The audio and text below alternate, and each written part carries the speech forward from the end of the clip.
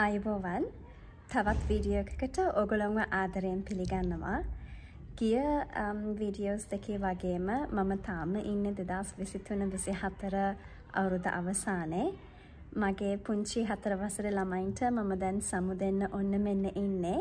ඒත් එක්කම මගේ පන්දිකාමරයටත් මම සමු දෙන්න තමා දැන් මේ ලෑස්ති වෙන්නේ. මම ලබන අවුරුද්දේ ආපහු පුංචි පන්තියක් එකැන ළමයි පාහලොස් දෙනකට ඉඩ ප්‍රමාණයක් තියෙන පන්තියකට මමත් ආය මාරු වෙනවා. ඉතින් ඒක නිසා මේ අවුරුද්දේ මම ඔක්කොම දාපු ඩිස්පලේස් ඒ වගේම සප්ලයි සහ රීසෝසස් හැම දෙයක්ම මම ආපහු පැක් කරගෙන වෙන පන්තියකට ගෙනියන්න ඕන. ඉතින් මම දැන් ලෑස්ති වෙන්නේ ඒ දේ කරන්න තමයි. ඉතින් මම ඔයාලට මේ වීඩියෝ එක නරඹන්න ආරාධනා කරන්නේ මාත් එක්ක මගේ රූම් එක ටයිඩියප් කරන්න සහ පැකප් කරන්න කොහොමද කියලා බලන්න එකතු වෙන්න. එහෙනම් ඉතින් ආදරෙන් අරඹන්න කියලා ඉල්ලනවා.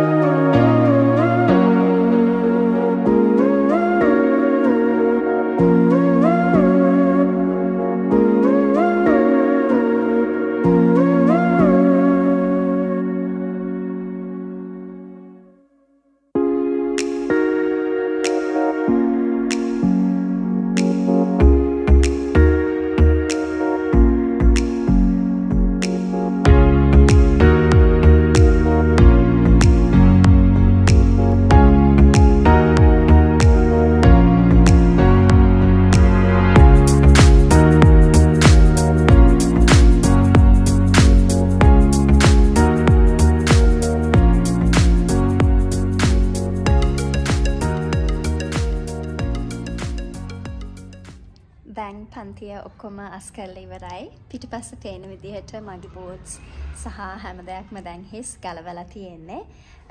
මේ තියෙන ළමයින්ගේ පොත් පිරීලා තිබුණ කබි හෝල්ස් දැන් ඔක්කොම empty. මගේ පිටිපස්ස තියෙන හැම දෙයක්ම empty. මම ඔක්කොම හිස් කරලා ඉවර වෙලා මෙන්න මේ පෙට්ටි වලට දානවා තමයි ඕගොල්ලෝ දැක්කේ. මම හිතනවා ඔයාලා වීඩියෝ එක ආදරෙන් නැරඹුවා කියලා මොනා හරි දැනගන්න තියෙනවා නම් ආයෙත් මම කියනවා කමෙන්ට් කරන්න. එහෙමනම් නැවත වතාවක් බොහොමත්ම ස්තුතියි. එහෙනම් ඊළඟ වීඩියෝ එකෙන් හම්බ වෙමු. සුබ දවසක්.